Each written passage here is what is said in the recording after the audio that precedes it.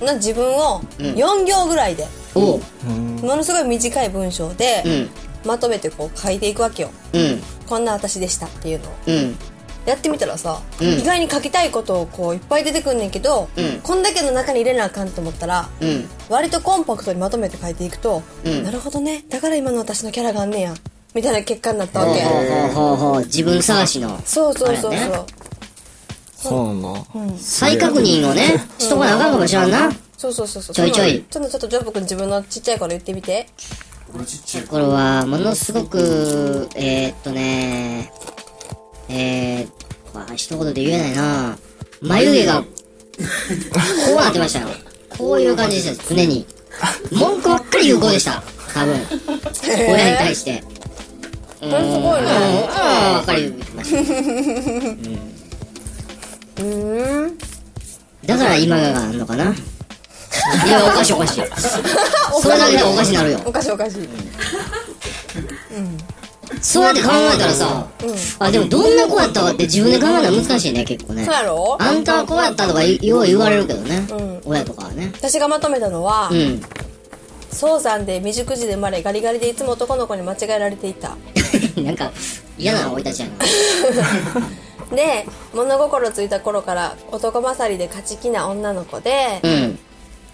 毎年小学校に入ると毎年学級委員長をし、うん。生徒会の会長児童会の会長をし、うん。小学校5年生で初めて親友ができ、うん。その子に会って初めて「ありがとう」と「ごめんなさい」が言える子供になりました。あええ話やがいい話やろ、うん。で中学校でうん。吹奏楽部に入るも、うん。馴染めず、うん。すぐ辞めて、うん。サッカー部を見学するための陸上部に入ったと。うん。でサッカー部をひたすら見学する毎日を送り、うん。父の一言で受験に目覚め、うん。受験勉強を猛勉強するが、うん。国数 A の3教科しかせず、うん。理科と社会がいつも赤点だったと。うん。で高校に入り、うん。普通の高校に入り、うん体育祭文化祭以外は、うん。あんまり頑張らない女の子になり、うん。吉本にはまり、うん。毎日吉本を見に行きエンターテイナーになるちょっと待ってそれ4行じゃないでしょうね。すごい長いっすよ。めっちゃ長いですよ じゃあで高校時代4行なんとか時代4行。あそういうことか。そうそうそう。一個ずつってことね。そうそうそうそう、吉本にはまりエンターテインメントになるにはっていう試行錯誤を始める、うん。で大人になって、うん。卒業して、うん。ソニーに入り、うん。えー米米クラブの方のプロデューサーに会い、うん。いろんなことを教わり、うん。専門学校講師を経てうん。育成からプロデュース業に携わる現在があるみたいな、なるほど。今のもう JP 様の反省を語っていました語った。語った語った。